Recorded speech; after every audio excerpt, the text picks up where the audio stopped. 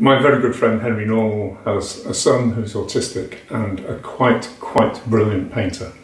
And uh, I tried to write a poem about that, but his, poem, uh, his painting, sorry, remind me of um, the way the lyrics of Captain Beefheart songs work. So it's sort of a combination of those two things. A poem for Johnny. The brushstrokes clatter, blue matters, sing-song shapes, the slippery line wriggles, giggles, jumps and turns like salmon hops.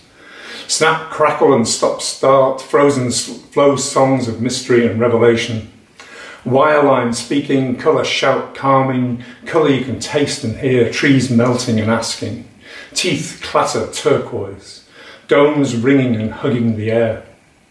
See that sober sound, drunk crawling tower songs in hillside blue pink, weeping, a dream of mixtures, pastures and blue tower bell shape incantations, blue babble finger stabs of daylight licking red yellow melting moves, purple falling, crimson lifelines, all black and white and the crush between, the black white smiling in between leaves you seeking, looking for something, whilst we are lost.